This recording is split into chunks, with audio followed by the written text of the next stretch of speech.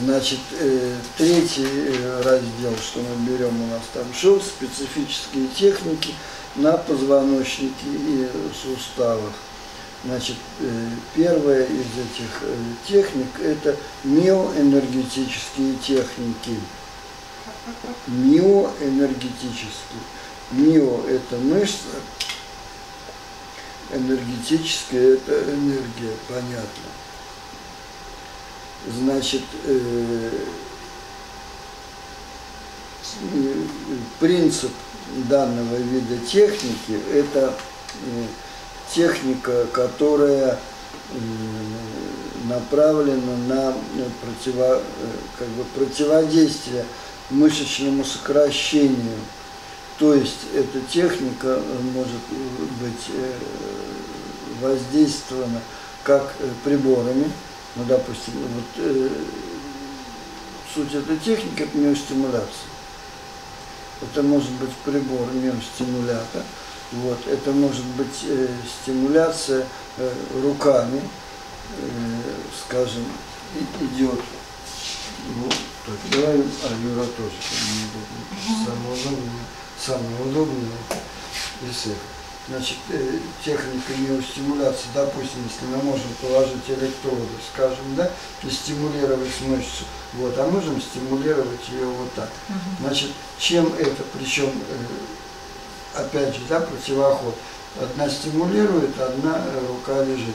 Чем отличается от вибрации? Вибрация идет вот, а миостимуляция идет вот. Понятна разница? То есть если я как бы, да, тормошу одно, а здесь я как бы, грубо говоря, я разминаю мышцу. Угу. Вот, но разминаю один участок. ко мне тоже приходили с бешеным воспалением, кстати. Это те люди, которым делали только миостимуляцию без совершенно подготовки. Здесь все должно осуществляться определенно. И потом мы же с вами говорим про технику на позвоночнике, на суставах. То есть на определенных группах мышц. Только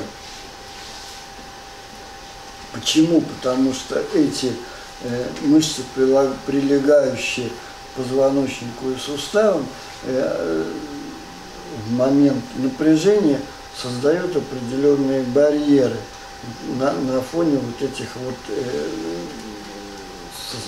соединений суставных поверхностей. Почему помимо суставов идет позвоночник? Потому что э, межпозвонковые суставы, они тоже, они сразу начинают реагировать. Поэтому вот эти вот ограничения подвижности, вот эти барьеры, они что делают? Они ограничивают подвижность в самих суставах. Устал нажимать.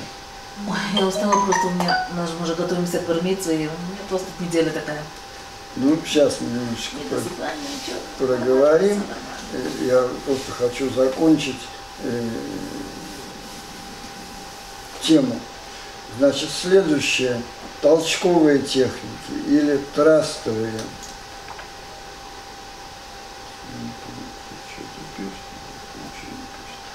Трастовые техники или толчковые.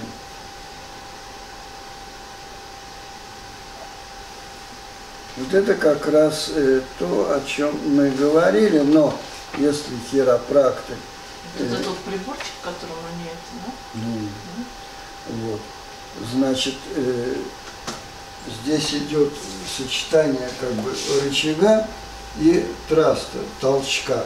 Значит, вот смотрите, вот что мы делаем. Вот у нас получается рычаг, вот э, траст, положи. Вот, да, вот, вот рычаг. Да, то есть я веду, а потом, а потом что я делаю? Вот, да, про- противоход. То есть эта рука идет. Это то, что я вам показывал на прошлом занятии. Да? Или, или вот, да, вот, вот эти вот идет. Вот идет рычаг, и вот идет толчок. А что это дает? Это, это дает расслаб... Все, вся техника направлена на расслабление мышц. То есть я, я готовлю, я не буду крутить, я не буду крутить, не бойся, да? Вот, я веду, веду, веду, веду медленно, медленно, и дальше я веду, веду, толчок. То, что мы говорили до сих пор, да, вот медленно, вот, вот я веду амплитуду и возвращаю. без толчка, я усиливаю амплитуду. Мгм. Это у нас было, а теперь вот я довожу, и вместо усиления амплитуды я делаю, делаю толчок. Да, то есть э, как бы мышца уходит резко. Вот это вот толчковая или э, трастовая техника. Значит, э, что у нас? Один. 11. Ну давайте до фуссальной. А, все, давайте вот фуссальные техники разберем как. Значит, фуссальные техники это так называемые непрямые техники, которые являются основными при работе на фасциях. Ну и э, краниальной остеопатии, то есть работе с черепом, они тоже э, применяются. Связки, мозговые оболочки, э, всякие э, м, сухожилия и так далее. Это фасции, которые произошли эмбрионально из одной структуры, из одного э, листка в процессе э, определенного изменения. Вот. И э, при работе с фасциальными техниками, э, то есть э, суть э, основной ра- работы какая? Это давление. То есть э, руки врача э, совершают определенное давление э, на мышцу, соответственно, через нее на фасцию. То есть это своего рода рефлексогенная техника.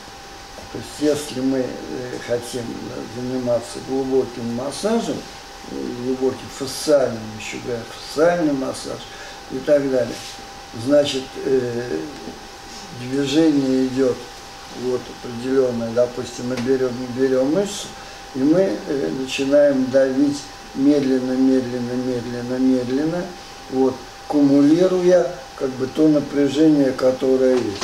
Вот это осуществляется, допустим, ну вот возьмем вот, и вот эту мышцу, вот она лежит, мы начинаем давление, вот, осуществляется, дальше ослабеваем, без толчков, вот. Здесь мы э, фиксируем, фиксируем напряжение. То есть вот при этом давлении да, э, лечение осуществляется на уровне фасции и сухожилий, которые проходят в данной конкретной области. И как э, продолжение вот этой вот э, техники да, является то своеобразная техника, целое направление. Потом она развилась, это вот то, о чем я вам говорил, стрейн, констрейн. Что это значит? Это значит, э, что мы осуществляем это движение только не на тех мышцах, которые напряжены, а на триггерных областях. Причем, вот смотрите, э, что у нас получается. У нас получается, э, допустим, вот триггерная область, да, мы осуществляем стрейн – это давление, констрейн – это расслабление. То есть одномоментно мы давим и мы расслабляем э, разные полюса мышцы. Вот. Давление. Потом мы можем осуществить наоборот. Здесь мы давим, здесь мы расслабляем. То есть обязательно идет противо, противоход. Если мы берем, предположим, мышцу, причем, смотрите, триггерная зона, предположим, здесь, да, поэтому, когда приложим воздействие на триггерную зону, мы можем констрейн осуществлять либо здесь, либо здесь, на месте прикрепления, неважно, неважно где. А потом наоборот, соответственно, если мы делаем э, расслабление здесь, то здесь давление, а здесь расслабление. Получается, как бы, да, дословный перевод. Стрейн – это давление, констрейн – это антидавление. Расслабление. Ну, да, я просто перевожу с э, английского.